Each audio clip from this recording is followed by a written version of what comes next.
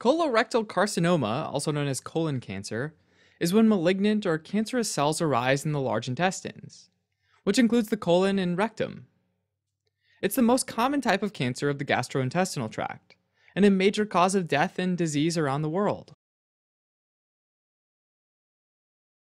The large intestine is found in the abdominal cavity, which can be thought of as having two spaces the intraperitoneal space and the retroperitoneal space. The intraperitoneal space contains the first part of the duodenum, all of the small intestines, the transverse colon, sigmoid colon, and the rectum. The retroperitoneal space contains the distal duodenum, ascending colon, descending colon, and anal canal. So the large intestines essentially weave back and forth between the intraperitoneal and retroperitoneal spaces. Now, the walls of the gastrointestinal tract are composed of four layers. The outermost layer is called the serosa for the intraperitoneal parts, and the adventitia for the retroperitoneal parts. Next is the muscular layer, which contracts to move food through the bowel. After that is the submucosa, which consists of a dense layer of tissue that contains blood vessels, lymphatics, and nerves. And finally, there's the inner layer of the intestine, called the mucosa, which surrounds the lumen of the gastrointestinal tract, and comes in direct contact with digested food. The mucosa has invaginations called intestinal glands, or colonic crypts, and it's lined with large cells that are specialized in absorption. Most colorectal carcinomas are adenocarcinomas, meaning that they arise from the cells lining the intestinal glands. Most cases of colorectal tumors happen because of sporadic mutations, but a small number are caused by known genetic mutations that run in a person's family. An example of this is the adenomatous polyposis coli gene, or APC gene, which is a tumor suppressor gene. Normally, the APC protein identifies when a cell is accumulating a lot of mutations and forces it to undergo apoptosis, or programmed cell death. But when the APC gene is mutated, the mutated bowel cells don't die, and instead some start dividing uncontrollably, giving rise to polyps.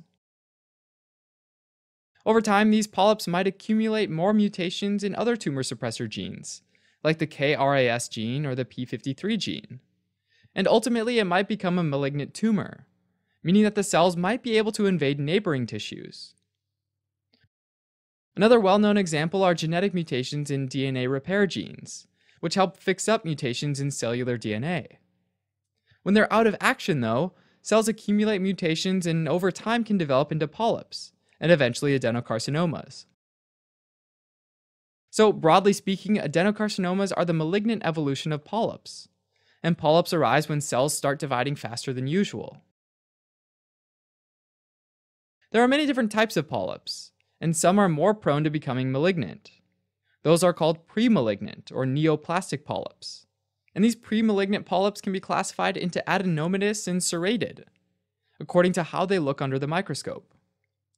Typically, adenomatous polyps have an APC mutation, and the cells look like normal colonic mucosa cells, whereas serrated polyps have defects in DNA repair genes and have a sawtooth appearance.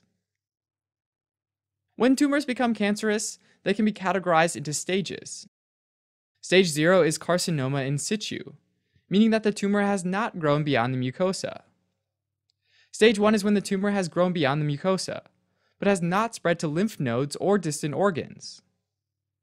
Stage 2 is when the tumor has invaded the whole colonic or rectal wall, and may have reached nearby organs or tissues, but still has not spread to lymph nodes or distant organs. Stage 3 is when the tumor has spread to lymph nodes, but still hasn't spread to distant organs. Finally, stage 4 is metastatic, meaning that the tumor has spread to distant organs. The most common site of metastasis for colon cancer is the liver, and for rectal cancer, it's the lungs. There are some non modifiable risk factors for colorectal cancer, like being an elderly male and having inflammatory bowel disease. But there are also some modifiable risk factors as well, like smoking cigarettes, eating a lot of red meat, not eating a lot of fiber, and being obese. Colorectal cancers are also associated with specific disorders like familial adenomatous polyposis, as well as hereditary non polyposis colorectal cancer. Initially, colorectal carcinoma is often asymptomatic, but as the disease progresses, symptoms can develop depending on the tumor's location. Tumors in the ascending or right colon generally grow outward, beyond the surface of the mucosa, and that can cause vague abdominal pain and weight loss. Typically, these tumors don't cause bowel obstruction, which means that they can grow quite large before causing symptoms, and that also means that there's often a late diagnosis. These tumors can ulcerate and bleed, and over time, the bleeding can lead to iron deficiency anemia. Tumors located on the descending or left colon are generally infiltrating masses, meaning that they tend to be ring shaped masses that involve the whole circumference of the colonic wall.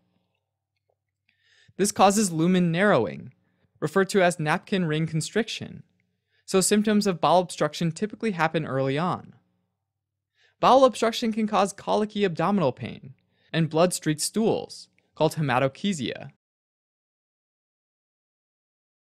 Diagnosis of colorectal cancer typically requires colonoscopy, which is when a camera is inserted retrograde into the colon and rectum to take pictures of abnormal looking polyps and get a biopsy.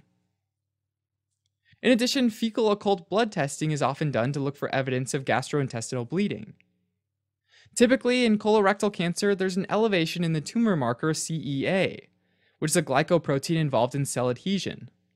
This, however, is not a very specific finding. A barium enema can be useful as well, and that's where a liquid is injected into the rectum through a small tube, and an x ray is taken to look for abnormalities in the large intestines.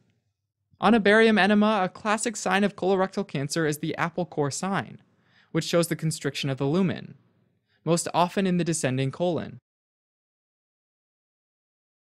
To identify colorectal cancer early, routine colonoscopy and fecal occult blood tests can be done to look for neoplastic polyps or early carcinomas so that they can be removed at an early stage.